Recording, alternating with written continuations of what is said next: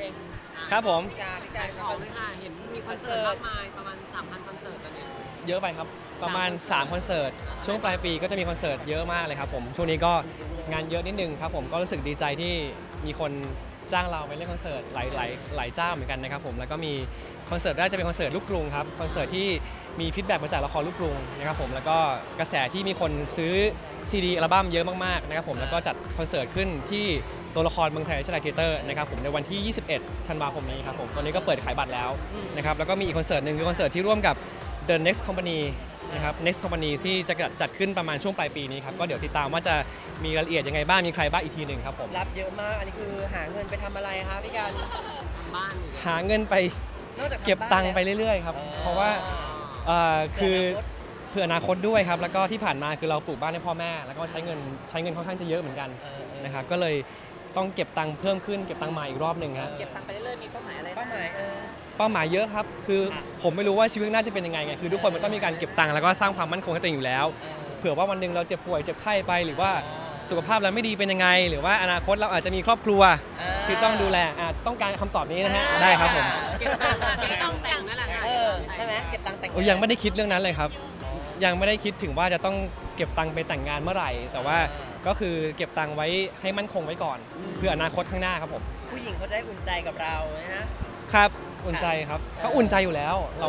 มั่นคงอยู่แล้วครับนี่แบบยังไม่ได้ไม่เริ่มคิดเริ่มอะไรแบบจริงจังอะไรขนาดนั้นยังครับยังครับ ก็ทำทุกวันให้ดีที่สุดไปเรื่อยๆครับผมไม่ได้ยังไม่ได้แบบกำหนดเป๊ะๆว่าอีกกี่ปีหรือว่ายังไงครับ แต่อย่างในรายการก็มุ้งมิ้งกุ้งกิ้งหลังจากแบบงอนกันแล้วเป็นไงบ้างคะดีขึ้นเออยอดวิวดีขึ้นดีดีแซวเล่นดีครับ ก็เป็นธรรมดาของคนที่คุยกันคบกันแหละ มันก็มีทะเลาะกันบ้าง งอนกันบ้าง แต่ว่าเราก็ต้องพยายามเรียนรู้แล้วก็แล้วก็รู้จักเข้าใจให้อภัยซึ่งกันและกันไปเรื่อยๆครับผมเออหลังๆแล้วคนคนเห็นเรียกเห็นกระแสบ้างไหมหลังจากที่เราออกมาให้สัมภาษณ์คู่กันเรื่องงอนกันบ่อยะอ๋อ เห็นครับ แต่ว่าผมไม่ไม่ค่อยได้โฟกัสคอมเมนต์ที่แบบในแง่ลบในแง่ลบเยอะเท่าไหร่อะไรเงี้ยฮะ แต่ว่าก็ ก็จะนำมาเขาเรียกว่าอะไรอะนำมาทำให้ชีวิตเรามี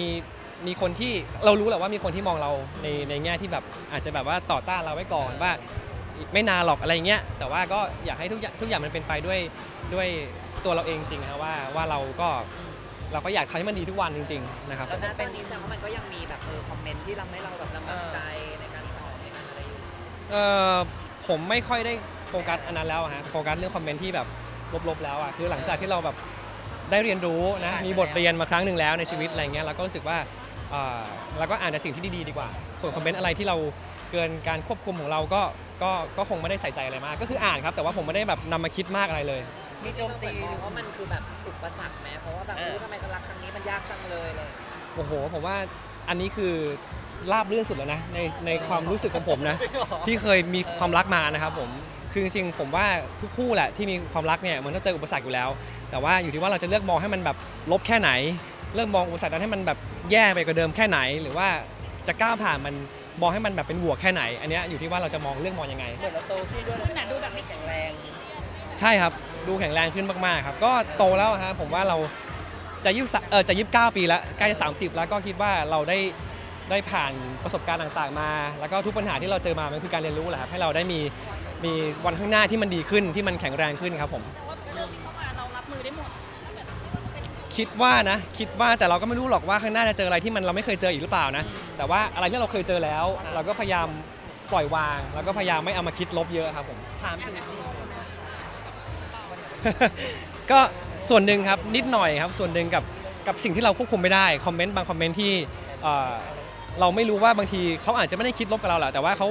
เขาแค่แบบบางทีเขาสนุกในการพิมพ์อะไรเงี้ยก็เข้าใจเขาครับ ถามถึงรูปนิดนึงค่ะที่คแบรับบว่าเราลงชกมวยแล้วมาเรียไปคอมเมนต์อะไรเงี้ยอ๋อ เราบอกว่าเราไม่ต่อยเราเดี๋ยวเขาเจ็บเราเจ็บยิ่งกว่าอย่างงี้มุกมันเป็นมุกเหรอมุกที่แบบแซวในคอมเมนต์กันแค่นั้นเองไม่มีอะไรครับ แต่ว่าหยอดหวานจริงนะคะหลายคนแบบว่าหวานเกินไปไหม โอ้ไม่หวานเลยครับ เออถ้าสังเกตได้ว่าช่วงหลังๆ เราจะเรียวมากขึ้นนะครับ แล้วก็ติดตามในในบล็อกอะไรเงี้ย ซึ่ง แรกๆหวานก็เยอะมาก ถ้าไปถ้าไปดูความเปลี่ยนแปลงนะ คือหลังๆเนี่ยจะเรียวมากจะแบบพูดกันแบบตรงๆมากขึ้นอะไรเงี้ยครับผมเออแต่ว่าก็คือแบบว่าเจ็บจริงไหมคะถ้าเป็นชีวิตจริง ถ้าสมมติเขาเจ็บเราเจ็บจริงไหมคะ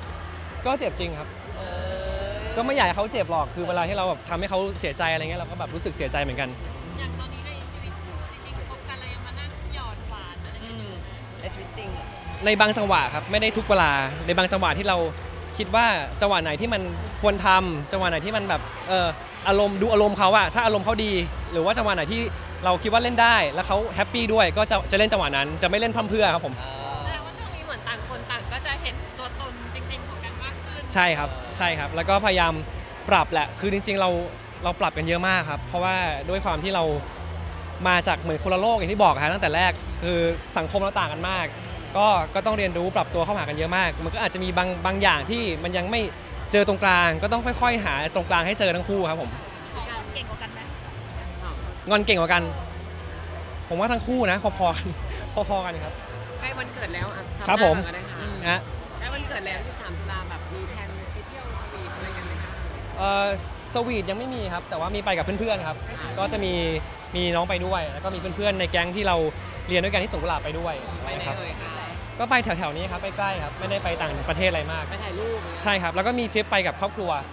ซึ่งก็เอาเอาน้องไปด้วยเหมือนกันค่ะเห็นหนูมารีจะมีเซอร์ไพรส์เนี่ยค่ะเหรอครับไม่รู้อันนี้แซววันเกิดเหรอครับอ่ามีไหมมีไหมที่เตรียมใจไหมไหมแบบว่าไม่น่าจะรู้นะถ้าเซอร์ไพรส์นะคือถ้ารู้คงไม่เซอร์ไพรส์ครับผมไม่แต่ปกติเขาชอบเซอร์ไพรส์เราไหมมีครับมีแบบว่าคอนเสิร์ตที่ผมไปขึ้นที่ต่างๆอะไรเงี้ยเขาก็จะแอบโผล่มาแล้วก็เอาดอกไม้มาให้ บางทีแบบช่วงนั้นคือบางทีทะเลาะกันอยู่อะไรเงี้ยผมก็ต้องผมก็กดไม่ลงแล้วอะเคยเห็นเห็นเห็นเขามาอะไรเงี้ยครับงอไปได้ในตัวใช่ครับก็ขอบคุณมากๆสำหรับกำลังใจถึงแม้ว่าบางทีจะแบบชอบพูดตรงๆ ให้เรารู้สึกแบบจี๊ดบ้างแต่ว่าเขาก็น่ารักอะฮะคือเขาก็เป็นห่วงความรู้สึกเรามากของขวัญนู่นของขวัญไหมคะของขวัญของขวัญโอ้ตอนนี้ขอแรกเลยนะเป็นการของขวัญให้กับผมเหรอใช่ใช่ใครใครใช่ให้ไหมเป็นปีแรกป่ะที่ปีแรกที่ใช่ปีแรกครับ ไม่รู้ครับ เพราะว่าต้องรอ 23 นี้ก่อน 23 ตุลานี้คนเกิด แต่ว่าก็รุ้น ไม่ลุ้นมากคือไม่อยากไม่อยากคาดหวังอะไรมากเอออะไรที่เขาให้ก็รับหมดแหละครับ ก็ดีใจหมดแหละครับ แต่ว่าความหวานนี้มันจะอยู่นานไหมอย่างที่อ่าอย่างเงี้ยกันเออก็จะพยายามครับ คือผมไม่ได้อยากคาดหวังว่ามันจะอยู่นานแค่ไหนเนาะ แต่ว่า สิ่งที่เราทำแล้วเรามีความสุขในทุกวันก็ก็จะพยายามทำให้มันดีที่สุดไปเรื่อยๆ ก็ไม่ได้อยากคาดหวัง แล้วก็ขอบคุณทุกกำลังใจที่ให้ให้เรามาสองคน แล้วก็ขอบคุณทุกคำติชมนะ เราก็จะพยายามนำคำติต่างๆ มาเป็นสิ่งที่ทำให้รู้สึกว่าเราใช้ชีวิตแบบรอบคอบมากขึ้น เราเราระมัดระวังในการใช้ชีวิตทั้งคู่มากขึ้นครับ ขอบคุณมากแต่ยังไม่หมดโปรโมชั่นเนอะๆยังครับก็สม่ำเสมอครับผม ติดตามข่าวบันเทิง พี่นายตะเทนแชนแนลอย่าลืมกดสับตะไคร้กันด้วยนะ